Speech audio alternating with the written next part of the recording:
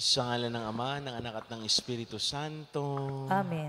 Sumainyo ang Panginoon. At sumayo rin. Mga kapatid, aminin natin ang ating mga kasalanan upang tayo maging marapat na gumanap sa banal na pagdiriwang.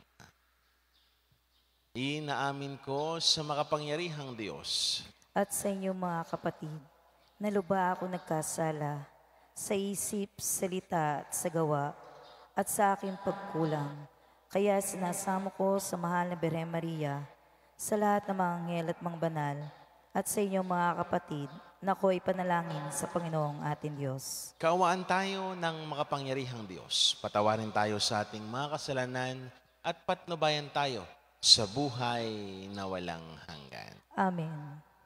Panginoon, kaawaan mo kami. Panginoon, kaawaan mo kami. Kristo, kaawaan mo kami. Kristo, kaawaan kami. Panginoon, kaawaan mo kami. Panginoon, kaawaan mo kami. Manalangin po tayo. Ama naming makapangyarihan, tunghayan mo kaming pawang may kahinaan at upang kami maipagsanggalang. Iabot mo sa amin ang iyong kanang kamay sa pamamagitan ni Yeso Kristo, kasama ng Espiritu Santo magpa sa walang hanggan. Amen.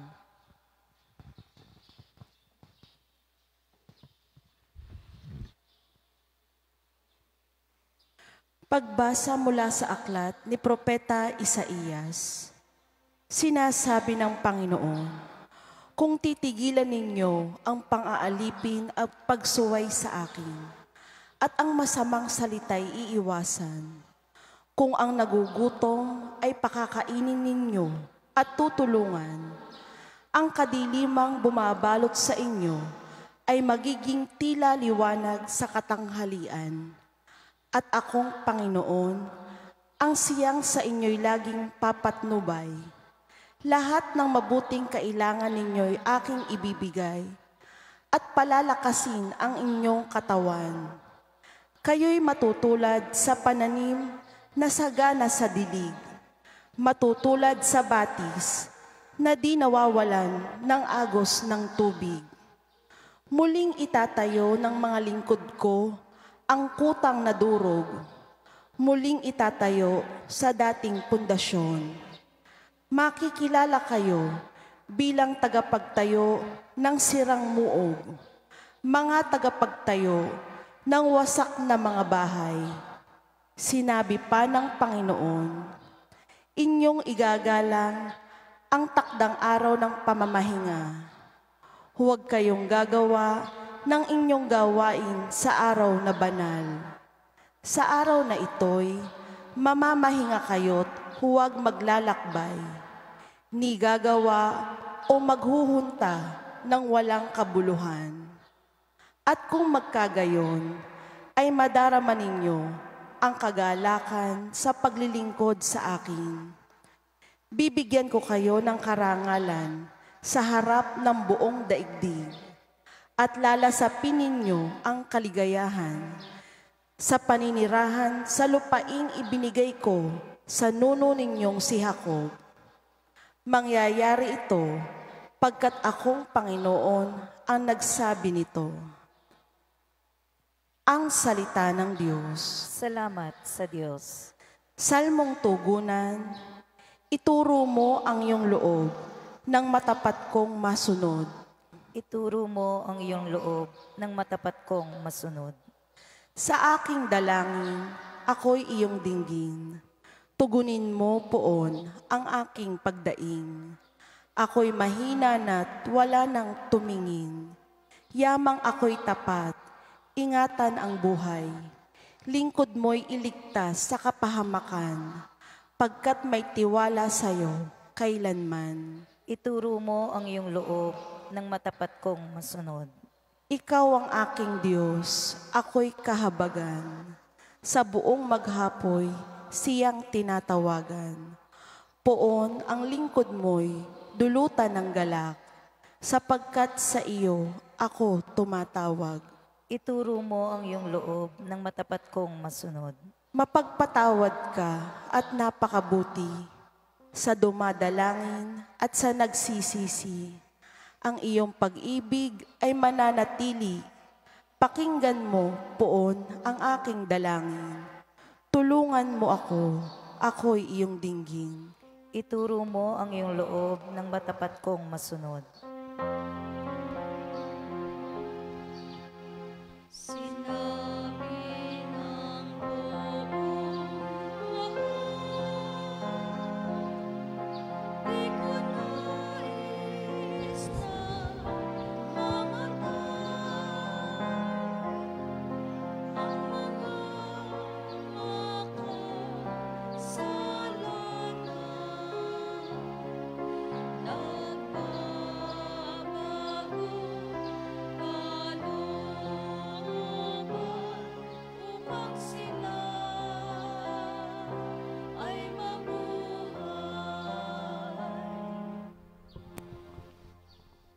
Sumainyo ang Panginoon. At sumayo rin. Ang mabuting balita ng Panginoon ayon na kay San Lucas. Papuri sa iyo, Panginoon. Noong panahong iyon, nakita ni Jesus ang isang publikano na nagangalang Levi. Nakaupo sa paningilan ng buwis. Sinabi sa kanya ni Jesus, Sumunod ka sa akin. Tumindig si Levi, iniwan ang lahat at sumunod eh, kay Jesus. Si Jesus ay hinandugan ni Levi ng isang malaking piging sa kanyang bahay.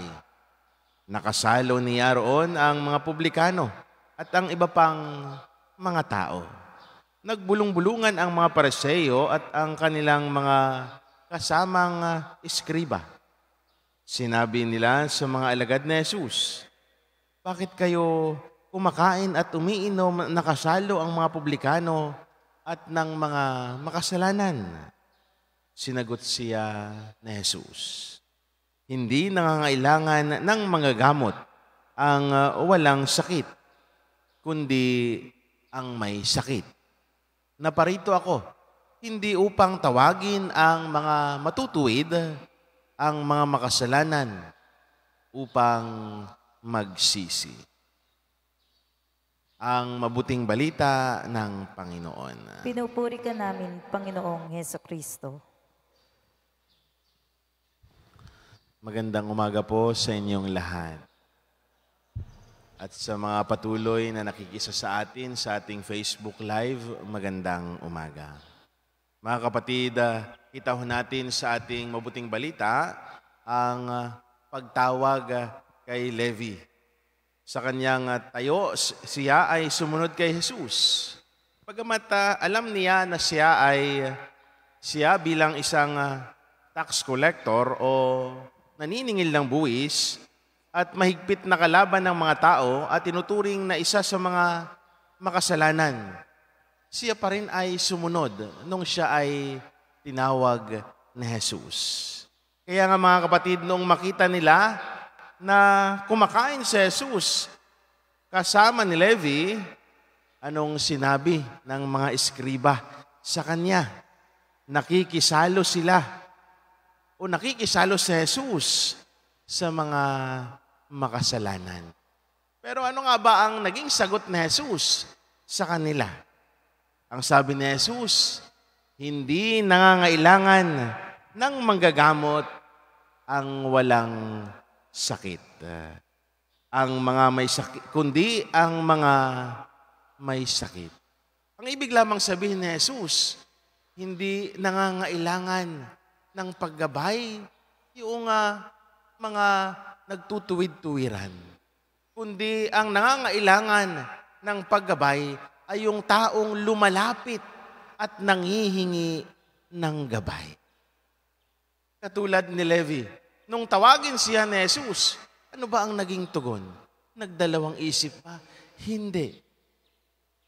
Pagkatawag ni Jesus sa kanya, siya'y tumayo, umalis sa kanyang upuan sapagkat gusto ni Levi ng gabay. Kaya nga mga kapatid, ang pinakita lamang ni Jesus ay awa at pagmamahal na gustong gusto niyang ipadama sa mga taong nangangailangan at tumatawag sa Kanya. Awa, sapagkat gusto ni Jesus na tayo ay Kanyang makasama. Awa, sapagkat gusto ni Jesus na tayo ay maging mabuti. Tayo ay nasa matuwid na landas. Awa, sapagkat ayaw ni Jesus na tayo ay mapariwara sa ating buhay. Kaya nga sa panahong ito ng Kwaresma, kita ho natin at paulit-ulit na pinapaunawa sa atin kung paanong pinatan ni Jesus ang lahat ng sakit. Kung paanong tayo'y kanyang tinulungan. Kung paanong siya mismo ang naging alay para sa ating mga kasalanan. Mga kapatid, ang pagpapadama ng awa ni Jesus ay naging konkreto na ipinakita niya sa atin sa pagpasa niya ng krus at pagpapako nito. Yun ang naging konkretong patunay na tayo'y kinaawaan ng Diyos. Sana mga kapatid, ngayong panahon ng Kwaresma, na tayo ay ah, pinapaalalahanan ng paggawa ng mabuti, pinapaalalahanan na magkaroon ng awa sa mga taong nangangailangan. Sana tayo rin maging instrumento upang ibigay ang kung anuman ang pangailangan ng mga taong humihingi sa atin. Hindi sana tayo magdamot. Hindi sana natin sila palayuin. Pagkus sana sila'y kaawaan din natin. Katulad ng ibinigay at pinakita sa atin ni Jesus sa mabuting balita kung paanong kinaawaan niya si Levi. At gusto niyang makasama. Ganon din sana tayo sa mga taong nangangailangan ng tulong natin. Sa mga taong gustong magpagabay upang sila rin ay tumahak sa daang matuwid. Pangalawa, pagmamahal. Pagmamahal sapagkat gusto ni Jesus na tayo ay kalingain. Kalingain at ipadama ang pagmamahal na naramdaman niya sa kanyang ama. Pagmamahal sapagkat gusto ni Jesus maranasan natin ang langit. Pagmamahal sapagkat gusto ni Jesus na makita tayong masaya. Wala nang ibang hinahangad si Jesus, kundi tayong lahat ay makasama niya sa kanyang kaharian. Kaya kung paanong ipinadama ni Jesus ang pagmamahal na ito kay Levi, ganun din ang pagpapadama niya ng pagmamahal sa ating lahat. Hindi tumitigil si Jesus, ang Diyos, upang ipadama sa atin ang kanyang pagmamahal sa papaanong pamamaraan sa araw-araw nating buhay. Tingnan natin, paano ba tayo ginagabayan ng Diyos? Tingnan natin, ano ba ang ating natatanggap sa araw-araw? Malimit kasi tayong mga tao, pagdating ng hapon, para bagang ang nakikita lang natin lahat ay problema. Ang nakikita lang natin lahat ay pagod. Pero hindi natin nakita sa buong maghapon kung paano tayo kinalinga ng ating Diyos. Kung paanong hindi tayo pinabayaan at binibigyan tayo ng sapat para sa atin. Mga kapatid, hindi nagkukulang ang ibinibigay sa atin ng Diyos. Sapagkat kapag ah, kulang ang ibinibigay sa atin, most probably, tayo ay wala na. Sapat ang ibinibigay sa atin maghapon. Tayo lamang mga tao kung minsan ang nagsasabing kulang. Sapagkat ang gusto natin ay yung mas sobra pa. Ang gusto natin ay yung mas higit pa sa kung ano ang natatamasa natin sa buong maghapon. Pero mga kapatid, kapag ka tinignan natin yung mga tinatanggap natin na sa buong maghapon at magpasalamat tayo sa Diyos at magdasal pa rin. unti-unti mararamdaman natin na ang pagmamahal ng Diyos ay hindi tumitigil sa ating buhay. Harnawa, kung paanong ipinadama ni Jesus kay Levi ang awa at pagmamahal. Isipin din natin, ilagay din natin sa ating mga puso na hinding-hindi rin tumitigil sa pagpapadama sa Jesus, ang Diyos Ama, ng awa at pagmamahal sa atin. Kaya nga mga kapatid, sa banal na misang ito, pagdasal natin na sana tayo'y laging nasa piling ni Jesus, na sana tayo'y laging nasa tuwid ng landas. At kung hindi man tayo, at kung minsan man na tayo ay mapalihis, ipagdasal din natin na sana'y nariyan lang siya lagi, handa tayong bigyan ng liwanag upang makita natin na siya palagi sa ating buhay. Muli, isang magandang umaga sa inyong lahat. Dumating si Kristo upang iligtas ang mga makasalanan. Buong kababaang loob ah, sa pagtugon sa kanyang tawag. Ilapit natin sa Ama ang ating mga panalangin. Panginoon, dinggin mo ang aming panalangin. Panginoon, dinggin mo ang aming panalangin. Ang simbahan, naway maituring bilang isang tahanan na nagpapagaling para sa mga mahihina at makasalanan.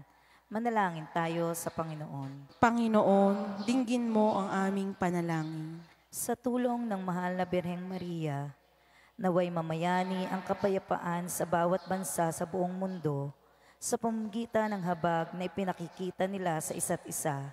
Manalangin tayo sa Panginoon. Panginoon, dinggin mo ang aming panalangin. Sa ating bansa, naway maghari ang pagkakaisa, bunga ng paggalang ng mga mamamayan sa isa't isa. Manalangin tayo sa Panginoon. Panginoon, dinggin mo ang aming panalangin. Sa lugar ng ating hanap buhay at maging sa ating mga pamilya, naway hindi tayo manguna sa pamimintas sa ating mga kasama. Manalangin tayo sa Panginoon. Panginoon, dinggin mo ang aming panalangin. Ang mga namayapa na ay makaranas nawa ng mapanligtas na kapangyarihan ng Diyos. Manalangin tayo sa Panginoon. Panginoon, dinggin mo ang aming panalangin. Ama, sa panahong ito ng Koresma, bagamat hangad naming maging matuwid, naway adya mo kami sa pagiging labis na mapagmatuwid, sa pagnanais naming makamit mula sa tagapagligtas ang kanyang walang hanggang awa. Maibahagi nawa namin ang kanyang pagpapala sa pamamagitan ng aming pagpapatawad sa aming kapwa. Lalo tigit ang ah, sa aming sa amin ay nagkasala. Hinihiling namin ito sa pamagitan ni Kristo na aming Panginoon. Amen.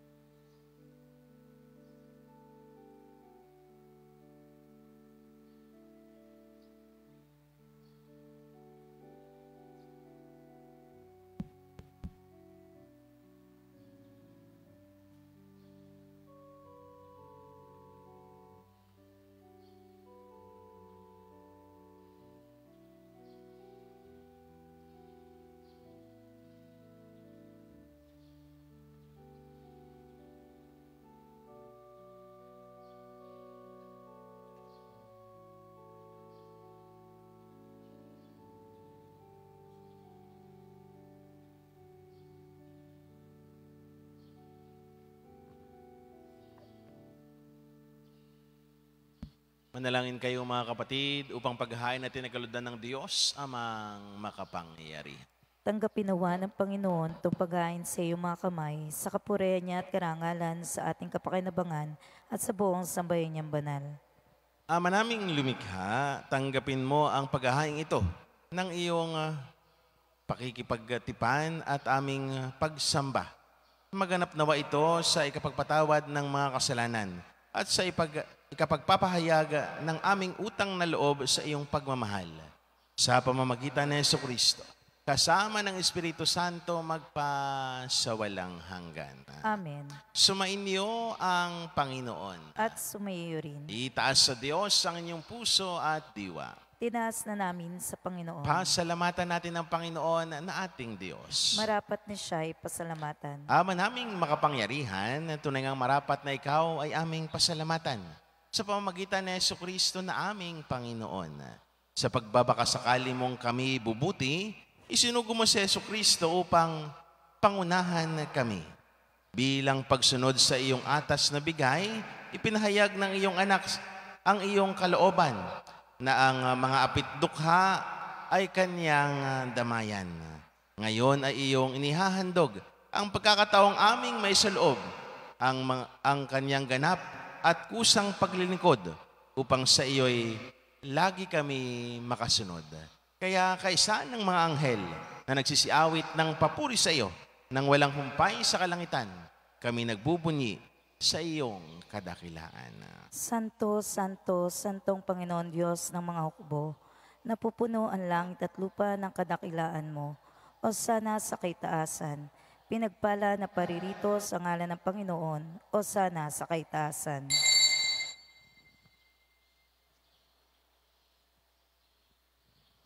Ama naming banal, ikaw ang bukal ng tanang kabanalan. Kaya sa pamamagitan ng iyong Espiritu, gawin mong banal ang mga kalob na ito upang para sa amin maging katawan at dugo ng aming Panginoong Heso Kristo. Bago niya pinagtiis ang kusang loob na maging handog, hinawakan niya ang tinapay. Pinasalamatan kaniya.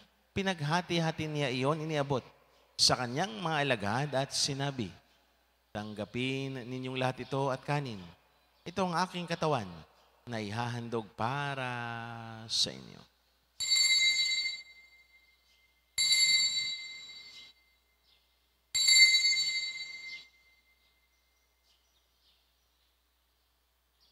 Gayun din naman, ah, nung matapos ang hapunan, hinawakan niya ang kalis, muli kaniyang pinasalamatan.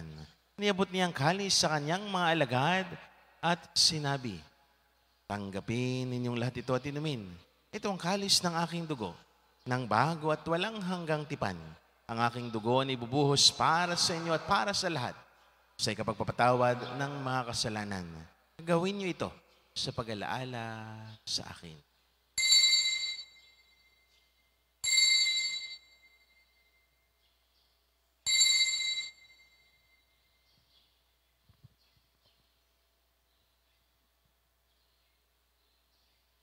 Ipagbunyi natin ang misteryo ng pananampalataya. Si Kristo'y namatay, si Kristo'y nabuhay, si Kristo'y babalik sa wakas ng panahon. Ama, ginagawa namin ngayon ang pag-alaala sa pagamatay at muling pagkabuhay ng iyong anak. Kaya tinialay namin sa iyo ang tinapay na nagbibigay ng buhay at ang kalis na nagkakalob ng kaligtasan. Kami, nagpapasalamat dahil kami iyong minarapat at tumayo sa harap mo para maglingkod sa iyo. Isinasamo namin kami magsalo-salo sa katawan at dugo ni Kristo ay mabuklod sa pagkakaisa sa pamamagitan ng Espiritu Santo. Ama, lingapin mo ang iyong simbahang laganap sa buong daigdig. Puspusin mo kami sa pag-ibig kaysa ni Francisco naming Papa, ni Gilbert naming Arsobispo at ng Tanang Kaparian.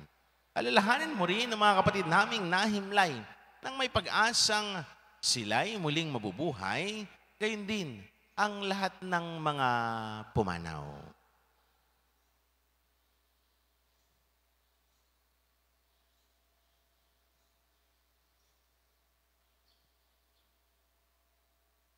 Kaawaan mo sila at patuloyin sa iyong kaliwanagan. Kaawaan mo at pangindapatin kaming lahat na makasalo sa iyong buhay na walang wakas. Kaisa ng mahal na Birheng Maria na ina ng Diyos. Kaisa ni Pong San Jose.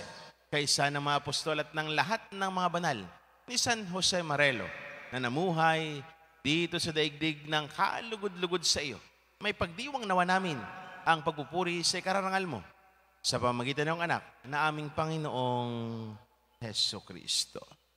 Sa pamamagitan ni Kristo, kasama niya at sa Kanya, ang lahat ng parangal papuri sa iyo, Diyos amang makapangyarihan, kasama ng Espiritu Santo, magpa sa walang hanggan.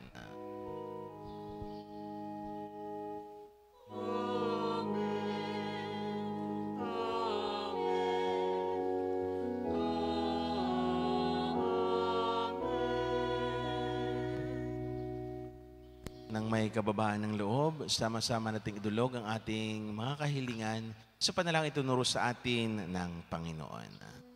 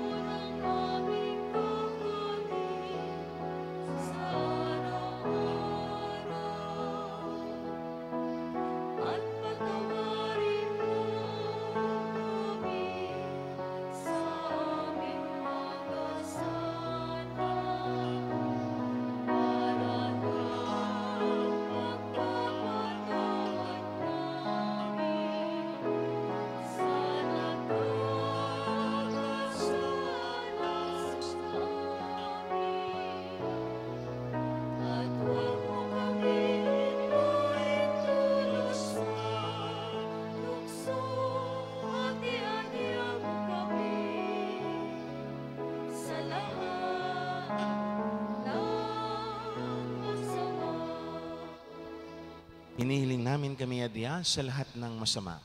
Pagkalooban ng kapayapaan araw-araw, iligtas sa kasalanan talayo sa lahat ng kapahamakan. Samantalang aming pinananbikan ang dakilang araw ng pagpapahayag ng tagapagligtas naming si Heso Kristo. Sapagkat iyong kaharian at ang kapangyarihan at ang kapurihan magpakailanman. Amen. Panginoong Heso Kristo, sinabi mo sa iyong mga apostol, kapayapaan ang iniiwan ko sa inyo. Ang aking kapayapaan ang ibinibigay ko sa inyo. Tunghayan mo ang aming pananampalataya at huwag naman ang aming mga pagkakasala. Pagkalooban mo kami ng kapayapaan pagkakaisa, ayon sa iyong kalooban, kasama ng Espiritu Santo magpa sa walang hanggan. Amen. Ang kapayapaan ng Panginoon ay laging sumainyo. At sumayo rin. Magbigayan kayo ng kapayapaan sa isa't isa. Peace be with you po. Kordero ng Diyos, nag-aalis ng mga kasalanan ng sanlibutan, maawa ka sa amin. Kordero ng Diyos, nag-aalis ng mga kasalanan ng sanlibutan, maawa ka sa amin. Kordero ng Diyos, nag-aalis ng mga kasalanan ng sanlibutan, pagkaloob sa amin ang kapayapaan.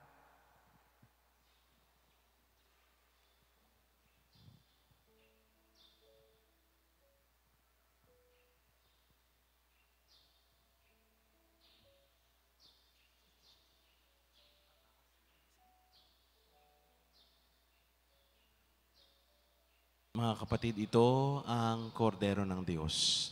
Ito ang nag-aalis ng mga kasalanan sa sanlibutan. Mapapalad tayong nanyahan sa kanyang piging. Panginoon, di ako karapat dapat na magpatuloy sa iyo. Unit sa salita mo lamang ay gagaling na ako.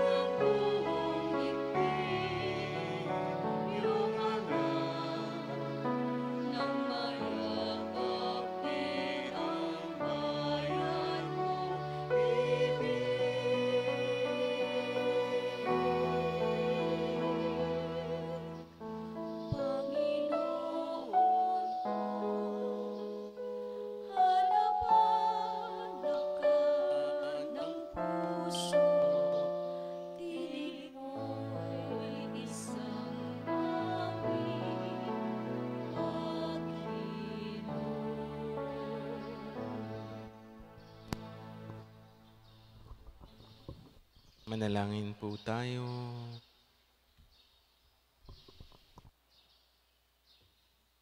Ama naming mapagmahal, kaming pinapagsalo mo sa banal na piging ay makapagpakinabang nawa sa buhay mong bigay sa amin.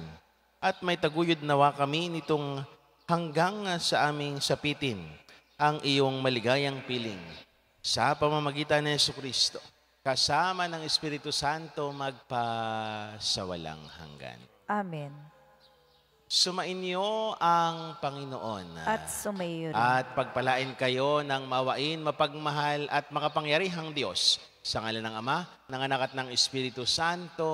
Amen. Ang banal na misa ay naialay na. Humayag ang taglay ang kapayapaan at pag-ibig ng Diyos. Salamat sa Diyos.